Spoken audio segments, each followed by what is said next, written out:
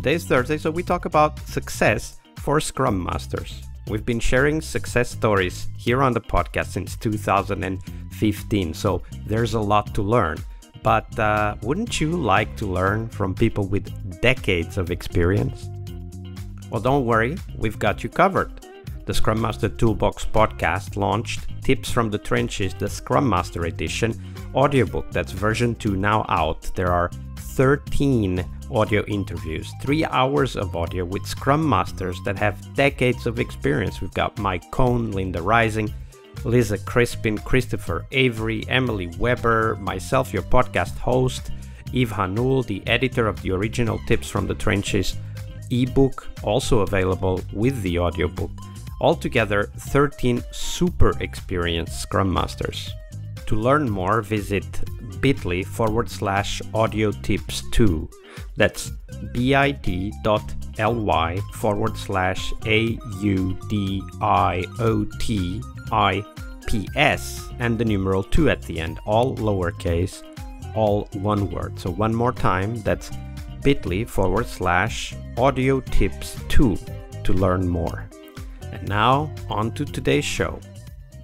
Hello, everybody. Welcome to our Success Thursday this week with Jakub Jurkiewicz. Hi, Jakub. Welcome back. Hey, Vasco. So, Jakub, on Thursdays, we talk about the success definition. But before we go there, we talk about the tool we very often use to get to a successful outcome, which is, of course, the retrospective. So, share with us what's your favorite retrospective format and why? Okay. It is, it is a hard question because most of the time I try to tailor the retrospective format to the to whatever the team needs. But I think one of the, the most interesting formats that I used was when I wanted to nudge the team towards self-management and towards better understanding of Scrum events. And I wanted them to take a bit of ownership of, of the retrospective.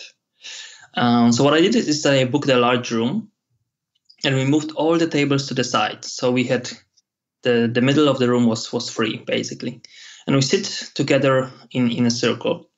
In the middle of the circle, I put a flip chart, um, flip chart paper where we could take notes of actions. And we started with a, with a check-in, uh, and we moved to gathering the highlights and pain points of the sprint. So everyone uh, got post-it notes and some sharpies, and they they wrote down two post-it notes per person, and they they put it into a, into a hat. So we kind of mixed them all together. So we, we had two ideas of highlight, one highlight and one, one pay point from every person, put it into a hat. When this was ready, we we started passing the hat in a round robin style from one person to another. And when a person uh, got the hat, uh, she had to draw one post-it from the hat, and she had to facilitate the conversation about this topic for five minutes. Um, and hopefully, the based on the conversation, we would have some actions at the end identified and this was this was a, a, great way to for everyone to be engaged for everyone to to have a chance to facilitate part of the retrospective. And at the same time we are keeping the the time box of five minutes for the discussions. Uh, it was short enough so that no much preparation from the people in the team um, was needed. And it was pretty safe also for them to actually try it out because you know all they had to do is to facilitate the conversation for five minutes which often means to be honest, sometimes doing nothing. But a, a lot of them kind of stepped up and they they took part in in coming up to some resolution or to some actions or to some conclusion. So this approach has generated a lot of very very new insights and it made everyone take ownership of the of the improvements. Yes, that was one of the techniques that I used and it was pretty pretty good. How did you then follow up on you know the the actions you wrote down? Like how how did you then implement in the team as a team that accountability for that ownership you said was generated? Ah, that's a great question, because probably as you know, I'm um, suspecting that's that's where your question is coming from. Is that it's it's often very hard to get the team to follow up with the actions. So what we did is that at the end we we decided to come out to take three actions out of, uh, if I remember correctly, out of that retrospective. So we did a bit of, at the end, we did a bit of discussion which actions would be the, the most impactful for us. And we took three actions. And one of the things that I encourage teams to do is that I don't ask one person to volunteer to kind of take ownership of an action. I often ask them to come up with pairs. So a pair owns an action, not just one person, but there is a two people owning an action, and this creates totally different dynamic in the team in terms of improvements, in terms of accountability for them. Because imagine when when there are two people who wants to make an improvement. Let's say that it's you and you and me, Vasco, and let's say I maybe an action was to go and talk to someone and ask for help. Let's make it very simple. And if I'm a, a bit more introverted person, I, I, don't really feel like going to people, or I don't even know how to approach them. Hopefully, maybe you will be a bit more, you know, courageous, and we could go together, and I could learn from you. And uh, also, you know, if, if I'm doing anything, I would hope that you kind of in the maybe in the middle of a sprint, you will ask me, "Hey, Jakub, should we go to this person and talk to them?" You know, we have this action to to take ownership of, uh, and it it just creates a different dynamic uh, and different kind of ownership. It's not just me, and it's not just my action, and maybe I volunteered last Friday in retrospective, but it's middle of a sprint and I don't even remember what it was about and why we wanted to do this. But if there's two of us, there's higher chance that we actually may remember why we why we are doing this and how we can do it. So that's my way to to help the team take ownership and and uh, hold them accountable for their actions. Absolutely, it's a it's a great tip for us because that's definitely one of the things that we need to pay attention to when we get out of a retrospective. That the actions don't fall flat on the floor and get forgotten. Yes. So now we turn our attention to success and what that means for you. So, Jakub, share with us what's your definition for success as a Scrum Master?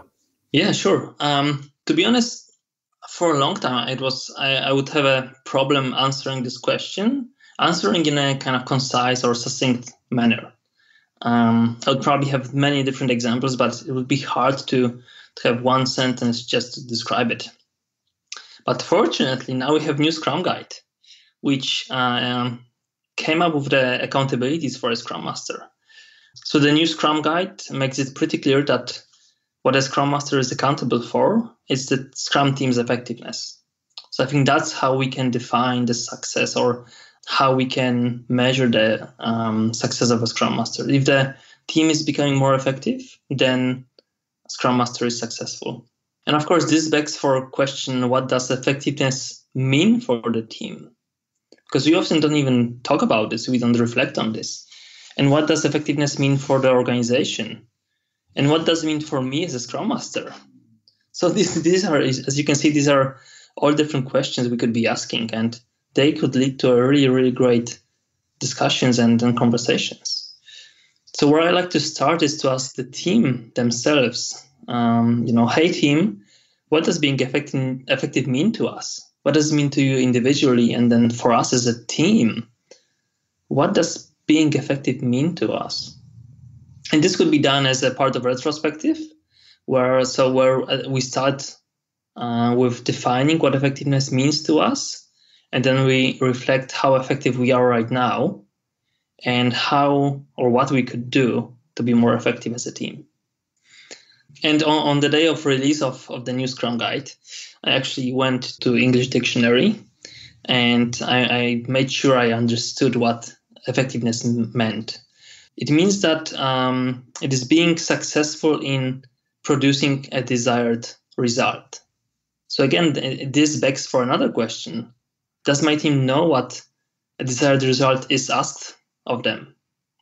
Are we as a team getting enough feedback to to be bet to, to better understand the desired result and how how would we know if we are successful in producing the desired result um, do we know any you know leading or lagging indicators that we could be using to to understand if we are uh, effective? This sounds like a never ending reflection. Exactly. Yeah yeah. Well i think that that that's, that could be a start point.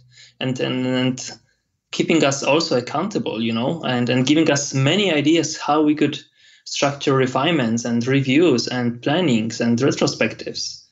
Because um, there are also other aspects of, of effectiveness like collaboration, you know, so that we can find synergies in our work and, and be more effective.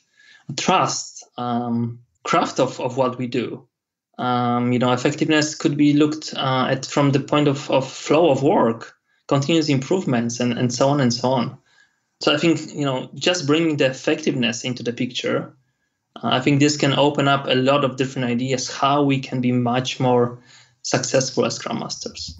Yeah, absolutely. And reflecting on effectiveness is definitely one of those things that we should be doing, as that is what we are there to do, to be effective, right? Yeah, yeah, yeah, yeah. That's uh, definitely a, a, a great and inspiring perspective. Thank you for sharing that, Jakub. Thank you. Thank you, Vasco. Part of a successful Scrum Master job is to help the product owner Tomorrow we explore that critical role in Scrum, the product owner role. Tune in to learn about product owner anti-patterns, what you can do to help the product owner, and a real life example of what a great product owner is and what made it so. Tomorrow on our Friday product owner episode. See you tomorrow. We really hope you liked our show. And if you did, why not rate this podcast on Stitcher or iTunes? Share this podcast and let other Scrum Masters know about this valuable resource for their work. Remember that sharing is caring.